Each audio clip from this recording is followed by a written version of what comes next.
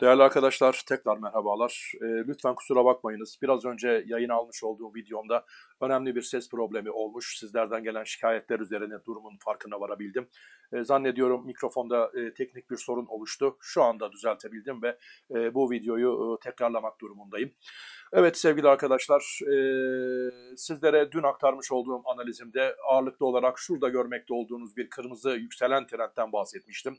Bu yükselen trendin güçlü yükseliş ivmesini, dolar TL'deki güçlü yükseliş ivmesini temsil eden bir trend olduğunu ve 6.11 seviyesiyle e, tanımlanmış olduğunu şu an itibariyle 6.10.93 seviyesini yansıtmakla bu trendin aşağısında dördüncü gündür yapılan kapanışlar gereği dolar TL'nin güçlü yükseliş ivmesini kaybettiğini ifade etmiştim. Zira bu seviye artık bir dirençtir ve bu seviye üzerine çıkılmadıkça ve bu seviye üzerinde net kapanışlar oluşmadıkça dolar TL'nin tekrar güçlü yükseliş. Arkadaşlar güçlü ifadesini özellikle kullanıyorum. Zira e, dolar TL hala orta uzun vade adına yükseliş trendi içerisinde bulunuyor. Ancak son dönemler itibariyle kısa vadeli güçlü yükseliş trendinin 6.11 seviyesini aşağı kırmakla altına inmiş durumdadır. Bu sebeple öncelikle bu seviyenin üzerine gelinmeli. Zira sizler de son günlerde görmekte olduğunuz gibi 6.11 seviyesine yaklaşımlardan bir geri dönüş yaşanmakta. Değerli arkadaşlar bir de e, öncelikle detaylı e, konulara girmeden önce piyasa genelinde, dünya genelinde ne oluyor ne bitiyor ona bir bakmaya çalışalım isterseniz. Bugün Trump tarafından yapılan bir açıklama vardı. Otomotiv ithalatına ilişkin olarak yeni düzenlemeler, olumlu yönde yeni düzenlemeler yapabileceğine dair bir ifadede bulundu. Zannediyorum Trump Çin ile savaşır iken ticari anlamda tabii ki savaşırken bir de Avrupa'dan kendisine cephe açmak istemediğinden dolayı böyle bir ılımlı adımı, yumuşak adımı atmış olmalı. Bu durum özellikle Avrupa endekslerinde ve bizde de olumlu bir şekilde e, karşılandı diyebilirim. Bunun yanı sıra e, arkadaşlar bugün Türkiye gündeminde çok önemli mevzular vardı. Bu arada e, bu haberin ardından Trump'ın bu şekildeki e, tweet'i ardından dolarda bir dolar endeksinde hafif bir iyimserliğin oluştuğunu, ABD piyasalarındaki iyimserliğin biraz daha ivme kazandığını söyleyebiliriz. Doların dünya genelinde euro karşısında değer kazanımı içerisinde olduğunu, Japon yeni karşısında değer kazanımı içerisinde olduğunu görüyoruz ve bu tablo gereği de 1300 doların ötesine geçemeyerek dönüş yapan bir altın e, seyrine, altın altın, ons altın seyrine tanık olmaktayız. Evet yurt içine gelecek olursak arkadaşlar bugün Türkiye gündeminde özellikle piyasaları etkileyen birkaç önemli husus vardı. Bunlardan en önemlisiyle başlayacak olur isek Hazine ve Maliye Bakanlığı Nisan ayı bütçe gerçekleşmeleri raporunu açıkladı ve bu raporunda maalesef ki son derece kabus gibi diyebileceğimiz bir sonuç ortadaydı. Arkadaşlar 54,5 milyar TL'ye ulaşmış olan bir cari açığımız, açığımız bulunuyor. Ee, bir bütçe açığımız bulunuyor daha doğrusu ve bu rakam geçen yılın aynı dönemine döneminde 23.2 milyar TL iken %135'lik artış ile 54,5 milyara ulaşmış durumda. Oysa ki 2019 yılının öngörüleri içerisinde 82 milyar şeklinde bir açık öngörülmekteydi. Biz bu açığı daha 4-5 ay içerisinde neredeyse yarısını tüketmiş durumda, yarısından fazlasını tüketmiş durumdayız. Böyle bir tablo içerisinde bütçe üzerindeki e, çeşitli yabancı basının yabancı basındaki çeşitli e, iddiaların bir anlamda doğruluk payı var mı şeklinde düşünmeden edemiyoruz. Zira e, son günlerde biliyorsunuz sürekli olarak Merkez Bankası'nın rezervlerindeki azalıştan ve e, önemli sıkıntılar içerisinde bulunduğuna dair haberler çıkıyordu. Bu hususta yalanlamalar, e, yalan haber olduğu iddia ediliyordu. Ama böyle bir tablo şunu göstermekte ki bütçe açığımız önemli boyutlara ulaşmış durumda ve tabii ki bu haberler eğer gerçekten yalan ise Merkez Bankası'nın veya bütçenin gerçek anlamda bir problemi sorunu yok ise neden yedek akçe olarak hani eskilerin deyimiyle kefen parası olarak adlandırılan 46 milyar TL yedek akçenin 40, 40 milyar TL'sini bütçeye aktarma ihtiyacı oluştu ve bunun için yasal düzenleme gerekiyor ve bununla ilgili adımların atılacağı, bu paranın 40 milyar TL'nin bütçeye aktarılacağı yönünde haberler çıkmakta. Yedek akçe olarak ayrılmış olan, çok kötü günler için ayrılmış olan bir rakama şu anda ihtiyaç duyuyor isek e, durumun vehametini zannediyorum e, başka sözle açıklamaya gerek olmayacak gibi görünmekte. Bir diğer yandan arkadaşlar e, vergi gelirlerimizde %6.4'lük bir artış olmuş ama giderlerimizde %30'a yaklaşan %29.5'luk bir artışın olduğunu görmekteyiz. Ve bu noktada da diyoruz ki hani nerede bütçe tasarrufu, hani nerede sıkı para politikası vesaire vesaire bunların hiçbirisinin rakamlara yansımadığını görmüş bulunuyoruz. Diğer yandan e, işsizlik verileri açıklandı ve işsizlik verileri içerisinde bir anlamda birçok kalemde açıklanan işsizlik verileri içerisinde cımbızla seçilebilecek kadar birkaç ufak iyileşmeler olsa da 4 milyon 730 bin seviyelerine ulaşan bir anlamda 5 milyona dayanmış olan bir işsizlik e, verimiz söz konusu. Diğer yandan geçen yılki e, karşılaştırmaya bakılacak olur ise şu anda istihdam edilen kişi sayısının 27 milyon 355 iken geçen yıl şu anda 811 bin kişi yani bir, %1.8 civarında bir azalmanın olduğunu görmekteyiz. Mevsimsellik etkisinden arındırılmış olan verilere bakıldığı zaman ise işsizlik sorunumuz son derece büyük bir ciddiyetle devam ediyor, artmaya devam ediyor.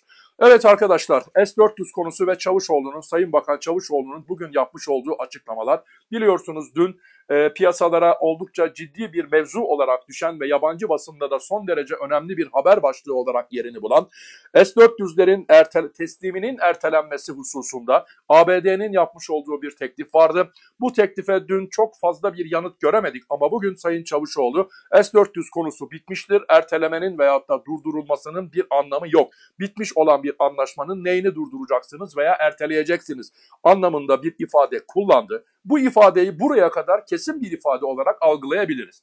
Ancak piyasa bunu kesin bir ifade olarak algılamadı. Neden algılamadı? Çünkü Bakan Çavuşoğlu dedi ki biz ABD ile bir uzlaşma içerisine girmeye hazırız. Bu konuda ortak bir protokol, ortak bir e, çalışma grubunun oluşturulmasını istiyoruz ve bu çalışma grubu S-400 füzelerinin NATO savunma sanayi sistemine ne ölçüde zarar verip vermeyeceğini araştırsın şeklinde bir ifade kullandı. Ancak bu konuda şöyle bir soru işareti daha var. Eğer bu araştırma sonucunda S-400'ler gerçekten F-35 veya NATO savunma sistemlerine zarar verecek bir niteliğe sahiptir şeklinde bir sonuç çıkarsa o zaman ne olacak? İşte bu sorunun da cevabı şu anda net bir şekilde gündemde değil ama görünen tablo ve piyasaların algılamış olduğu şekil ve yabancı basının üzerinde özellikle durmuş olduğu mevzu şu ki zannediyoruz ki kapalı kapılar ardında başka başka görüşmeler olmakta ve özellikle İstanbul seçimlerinin yenilenmesi dönemi öncesinde S-400 mevzusuyla ilgili olarak çok sert bir gergin bir ortam oluşmayacak.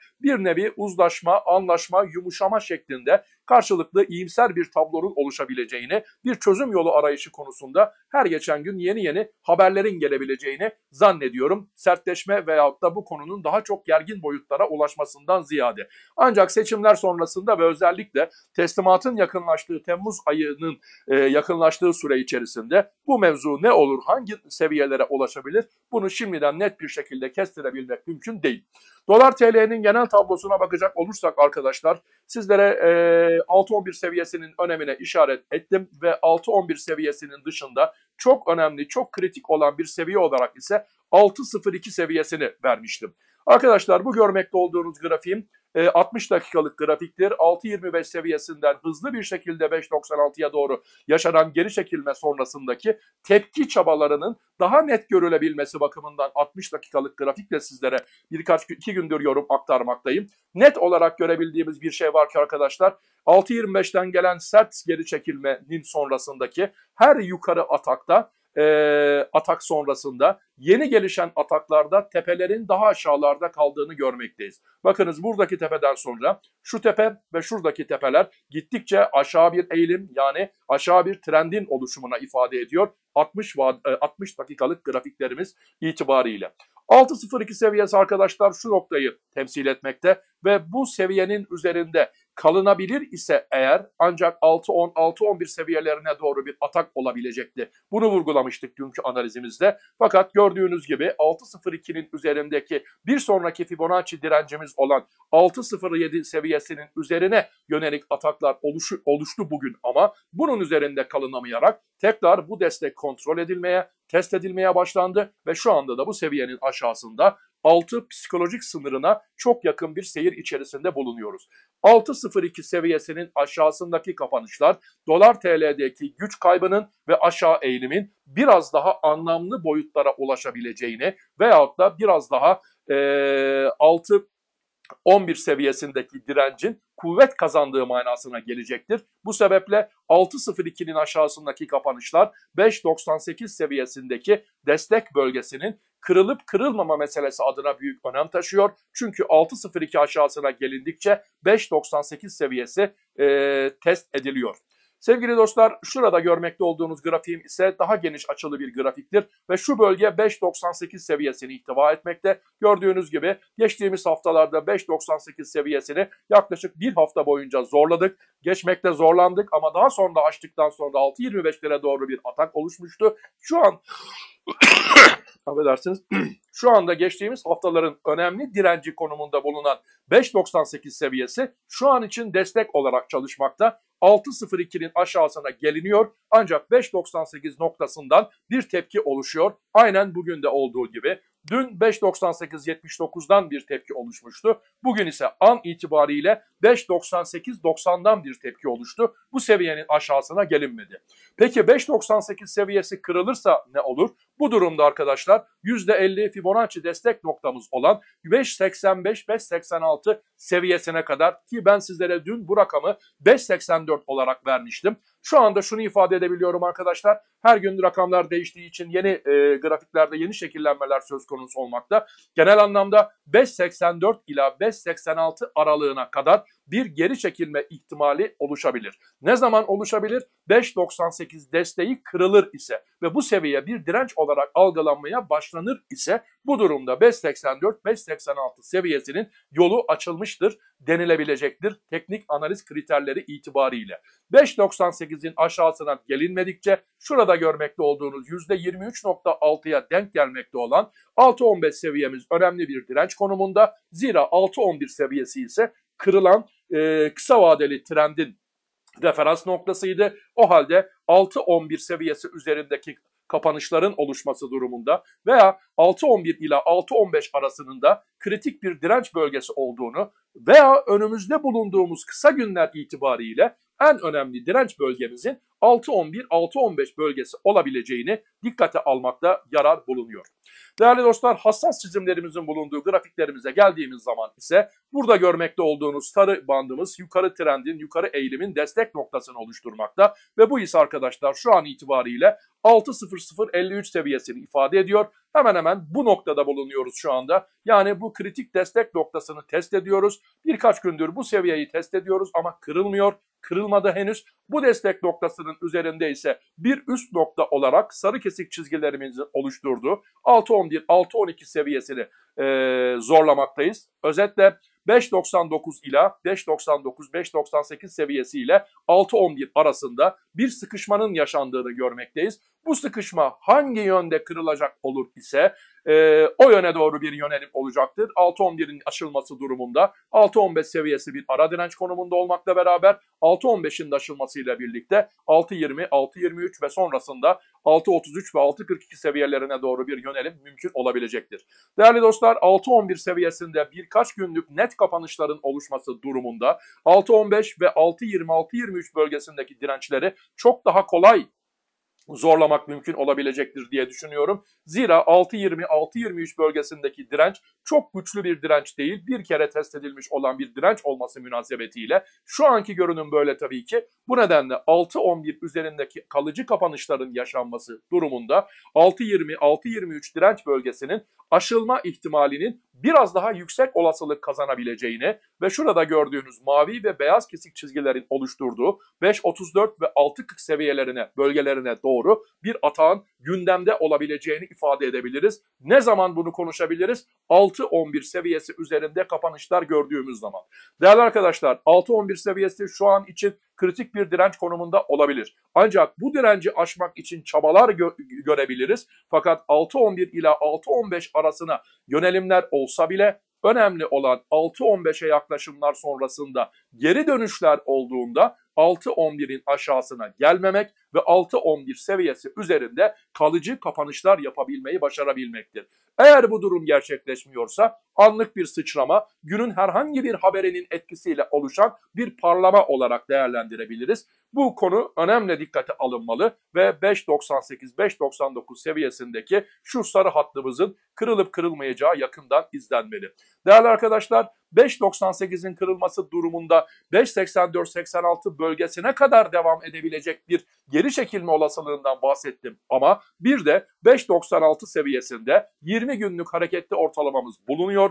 Beyaz eğrinin tanımlamış olduğu bölge. Bu 20 günlük ortalamamızda e, bir ara destek seviyesi olarak e, işlev ifa edebilir. Zira son geri çekilmede 5.96 seviyesi e, bir e, destek noktası olarak önem taşımıştı. Değerli arkadaşlar görünen e, o ki dolar TL'deki gevşek eğilim veyahut da zayıf seyir devam ediyor. Ancak haber trafiğini çok yakından izlemek mecburiyetindeyiz. Her gelebilecek olan yeni bir haberin etkisi farklı olmakta ama şu an itibariyle piyasanın özellikle duyarlı olduğu konu seçimlere biraz daha vakit olması münasebetiyle S-400'ler konusu ve S-400 konusuyla ilgili olarak zannediyorum ki yabancılar daha ziyade kendi basınlarının yapmış olduğu açıklamalara itibar ediyorlar. Biz her ne kadar S-400'ler konusundan vazgeçmeyeceğiz diyorsak da maalesef ki şu anki piyasanın algısı sanki S-400'ler konusunda bir uzlaşmanın olabileceği yönünde. Evet arkadaşlar dolar TL konusundan sonra bir de Viyop konusuna gelelim isterseniz. Viyop kontratları itibariyle son kapanış 6.06.58 ile gerçekleşmiş durumda. Pivot seviyesi 6.08.21, 6.08.21 üzerinde kalındıkça yarın için 6.10, 6.16 ve 6.18 seviyeleri direnç noktaları olarak takip edilebilir. 6.08'in aşağısında kalındıkça ki kapanışımız bu seviyenin aşağısında gerçekleşmiş durumda. 6.02 ve 6 seviyeleri destek bölgeleri olarak takip edilmeli. Arkadaşlar e, yarın için e, dolar TL adına e, pivot verileri itibariyle 6.02 seviyesinin şu an için pivot desteğimiz konumunda olduğunu görüyoruz. Bu seviyenin aşağısındayız. Bu nedenle 5.96'ya kadar geri çekilme riski pivot tekniği itibariyle yarın adına gündemde olduğunu görebiliyoruz. 6.02'nin aşağısında kalındıkça 5.96'ya kadar Buranın da kırılması durumunda 5.92'ye kadar bir geri çekilme riski gün bazında günlük pivot tekniği itibariyle verileri itibariyle mümkün olabilirmiş. Yukarı hareketlerde ise 6.05.50 ve 6.12 seviyesi sonrasında ise 6.15 seviyesi dikkat edilmesi gereken kritik noktalar konumunda. Sevgili arkadaşlar her gece olduğu gibi 24'ten sonra piyasanın kapanışıyla birlikte grafiklerin daha net bir şekil kazanması ardından milimetrik olarak ben sizlere hem e, dolar TL hem e, ons altın hem Brent petrol bazında da e, bir gün sonraya yönelik olarak takip edilmesi gereken pivot verilerini aktarmış olacağım. Şimdilik hoşçakalınız diyorum. İyi akşamlar, selamlar, saygılar.